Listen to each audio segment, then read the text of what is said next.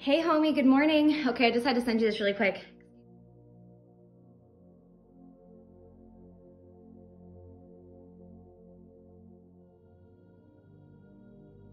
Excuse me, I'm like out of breath. I just finished working out.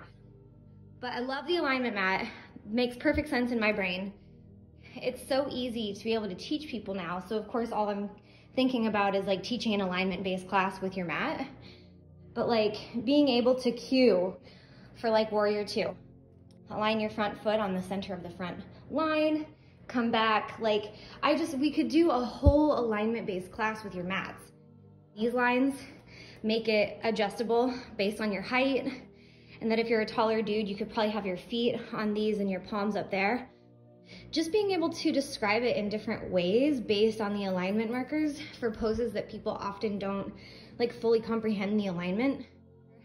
And I love this mat because it's also like, it reminds me of like music. So I already have a DJ friend that I really want to give this mat to. Anyway, sorry for the long video. Hi, have a great day.